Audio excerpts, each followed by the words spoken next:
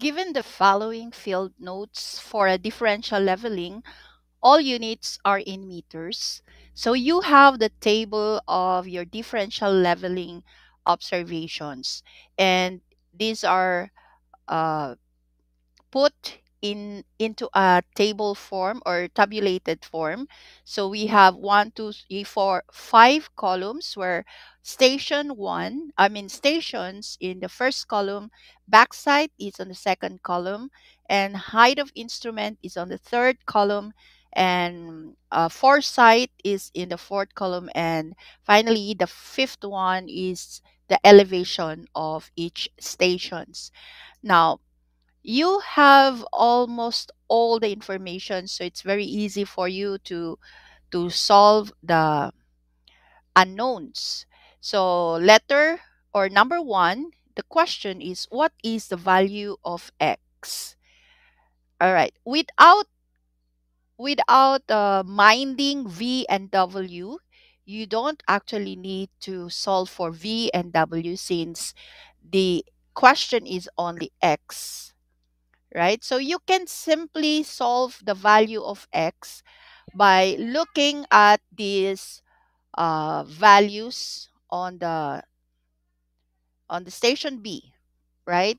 So you all know that backsight plus the elevation is equals to height of instrument or height of instrument. So let's solve this solution. Okay, from the basic formula, backsight plus the elevation is equals to the height of instrument. Okay, so if you are going to add x plus the elevation, it will give you the height of instrument. So from here, you can compute for the backsight.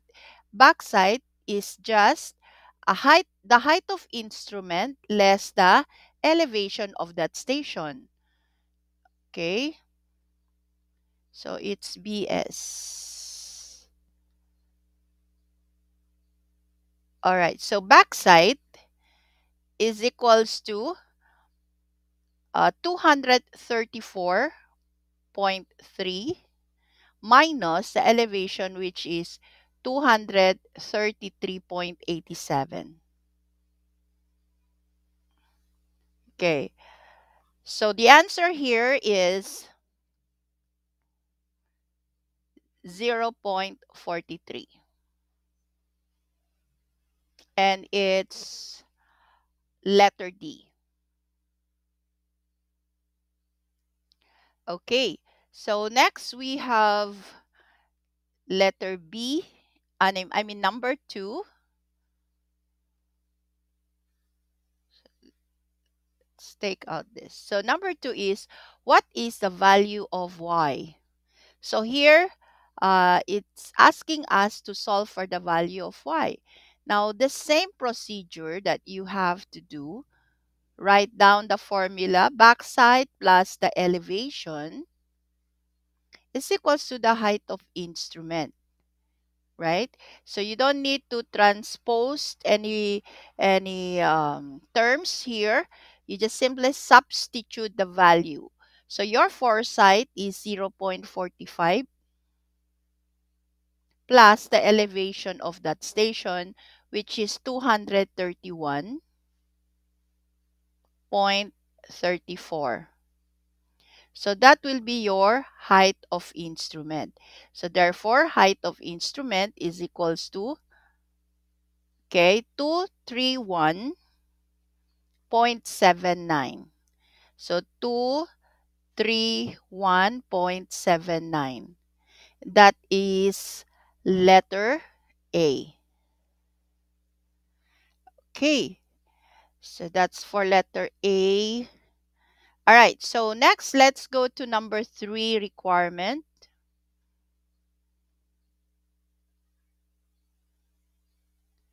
So we have uh, what is the value of z? So we are asked to answer the value of of z. All right, so we are going to solve for the elevation of the next station. So therefore, uh, if you're going to to um, but here class no it's it can be easily solved because uh, the same procedure that you have to follow. So this is backsight plus uh, the elevation equals to height of instrument. So you're trying to get the height of the, I mean the elevation of the station E. Since you already have the height of instrument, so you don't have to worry because uh, backsight plus the the I mean the backsight plus elevation is equal to height of instrument. So you can get the elevation here. So elevation is simply equal to height of instrument minus the backsight. Now you just transpose this term into the other side that will become negative so you uh, what is left on the left side is your elevation so you can solve for the z so elevation now which is the z right is just simply equal to the height of instrument okay less the backsight because backsight is given Okay, 0.76. So the answer is,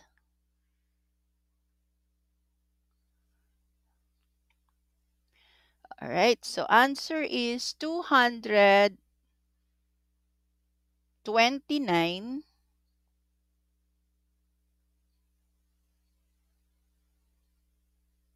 229 point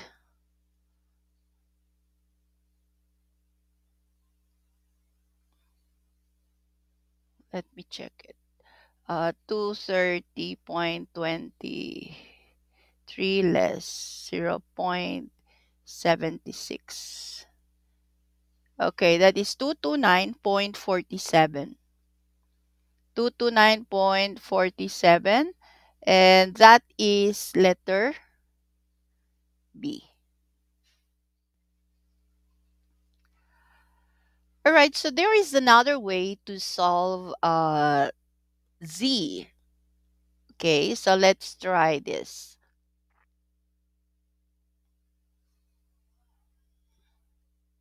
Okay, if you see here in station D, so if you are in the station D, so let's say your station D here is here.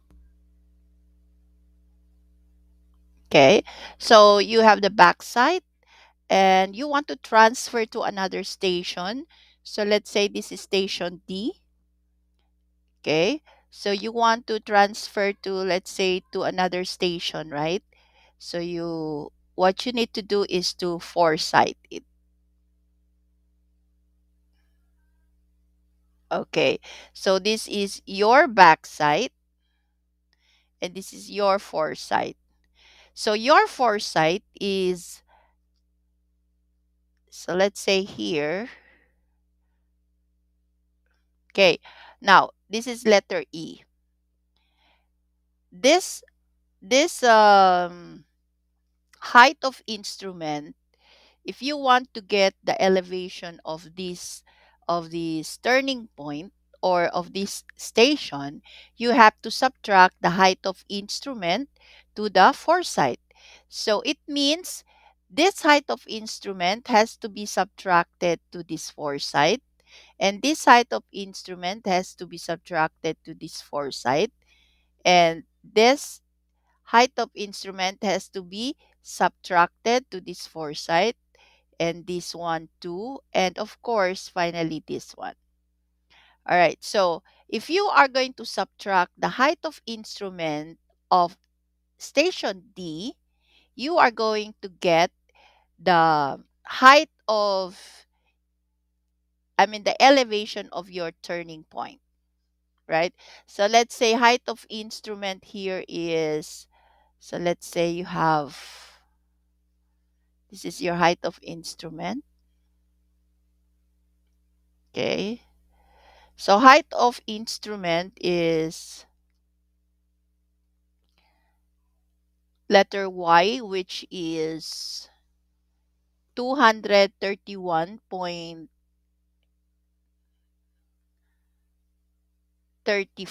I 30 uh 231.79 that we have computed it here right 231.79 so this is 231.79 now if you subtract this this is the foresight this is going to be 231.79 less foresight.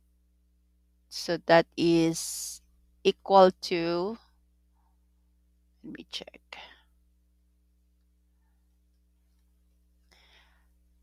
okay so this is 231.79 less 2.32